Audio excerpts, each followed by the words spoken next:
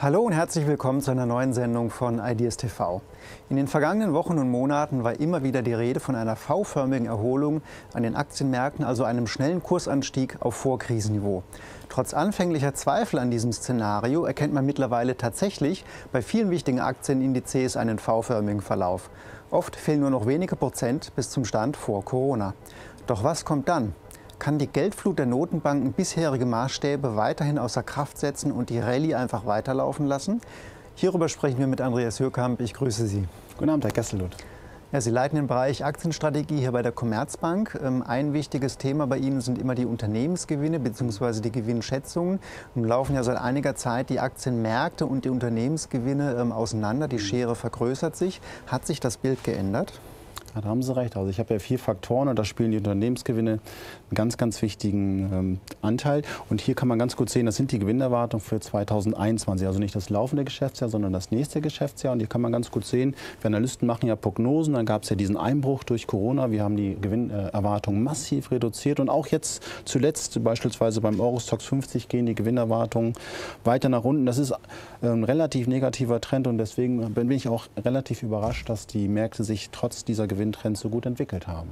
Das heißt im Umkehrschluss, dass die Kurse, wenn die Kurse recht hoch sind, mhm. dass die Aktien entsprechend teuer sind für die abgelieferten Gewinne.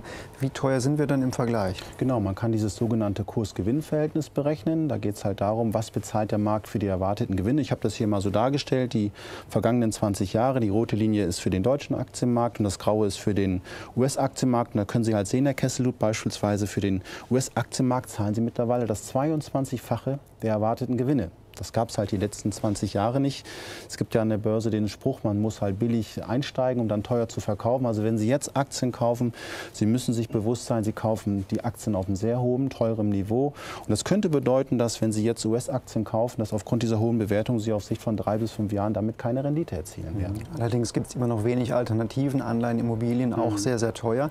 Was macht denn die Stimmung am Aktienmarkt momentan? Ist die auch auf Rekordlaune und kann man also, das messen? Das ist der, der dritte wichtige Faktor, auf den ich schaue. Das ist ein sogenannter Anlegersentiment. Man kann das auf verschiedene Weise messen. Hier ist mal so dargestellt, da, da geht es um die Optionsbörsen. Also man kann so, sogenannte Verkaufsoptionen kaufen, um sich gegen Kursverluste abzusichern. Und hier mal so dargestellt, immer wenn die graue Linie nach oben springt, äh, halt viel Handel in Verkaufsoptionen hast, der, der Markt hat Angst. Also beispielsweise damals, als Trump gewählt wurde, eine große Unsicherheit oder, oder davor dieser Handelskrieg. Und jetzt natürlich Corona. Also Corona, man kann schon sagen, wir hatten im März Panik an den Aktienmärkten.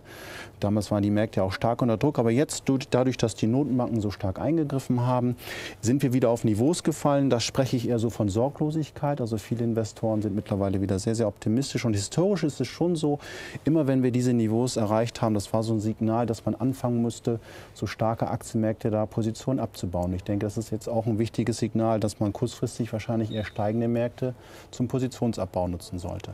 Mhm, das sind doch einige Warnsignale, die man nicht einfach übersehen kann. Wie kommt es denn dann, dass die Aktienmärkte trotzdem einfach weiter steigen? Also da haben Sie recht. Ich meine, wir haben halt schwache Gewinne, wir haben eine hohe Bewertung, wir haben schon sehr, sehr viel Optimismus im Markt. Wie kann es sein, dass die Märkte einfach so weiterlaufen? Und das ist halt der vierte wichtige Punkt. Ich schaue ja bei mir in dem Bereich Konjunktur vor allem auf die Notenbanken. Und das ist für mich ein ganz, ganz wichtiger Indikator hier dargestellt, wie stark wächst eigentlich die Geldmenge. Also das müssen sich die Zuschauer vorstellen. Das ist so das Benzin, was da ist für den Konjunkturmotor, um zu laufen. Benzin, was da ist, um Kurse nach oben zu bringen. Und hier sehen Sie ja ganz gut, wir haben wirklich eine explodierende Geldmenge. Die US-Notenbank hat den Leitzins auf 0% gesenkt. Sie bekommen auch in den USA für Anleihen kaum noch eine Rendite. Und dieses Geld sucht sich halt jetzt die Wege. Also der Goldpreis ist auf dem Allzeithoch, die Aktienmärkte schießen nach oben. Und das ist für mich der alles entscheidende Grund, dass trotz dieser Warnsignale die Aktienmärkte sich so gut entwickelt haben. Mhm. Kann es denn dann sein, dass die Rallye einfach weiterläuft, wenn die Notenbanken einfach alles überlagern? Also ich bin schon der Meinung, also normalerweise, also ich würde sagen, das faire Niveau des DAX ist so zwischen 10.000 und 11.000 Indexpunkte. Wenn man sich so Bewertungen anschaut oder Unternehmensgewinne, durch die Notenbankpolitik wird das hochgeschoben. Also ich würde schon sagen, so die nächsten Monate wird der DAX sich wahrscheinlich auf relativ hohem Niveau dann ähm, stabilisieren. Ich, ich, ich erwarte schon über 13.000, das sind so Niveaus, da ist die Bewertung hoch, da könnte man schon Positionen abbauen. Und wer noch auf den Börsenzug aufspringen sollte, ich würde es nicht auf dem aktuellen Niveau machen. Ich denke schon, dass wir noch mal so unter 12.000 Punkte fallen werden. Vielen Dank, Herr Hürkamp, für diese Einschätzung. Und Ihnen, liebe Zuschauer, vielen Dank für Ihr Interesse. Wenn Sie möchten, sehen wir uns gerne in der kommenden Woche wieder. Ich wünsche Ihnen noch alles Gute. Bis dahin, bleiben Sie gesund. Auf Wiederschauen.